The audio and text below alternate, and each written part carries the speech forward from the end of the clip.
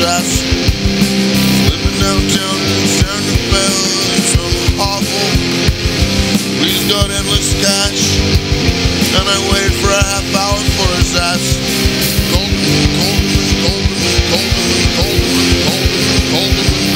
I see him walking across the street.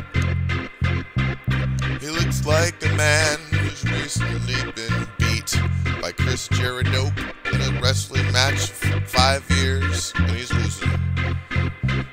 He's all fucked up with circulatory issues and had a stroke. He can't play piano no more.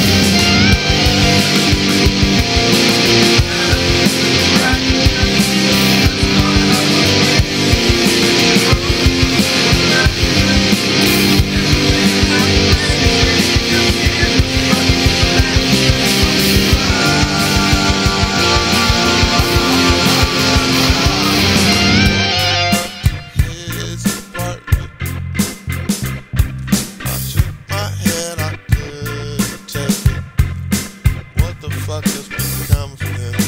His parents were famous. He had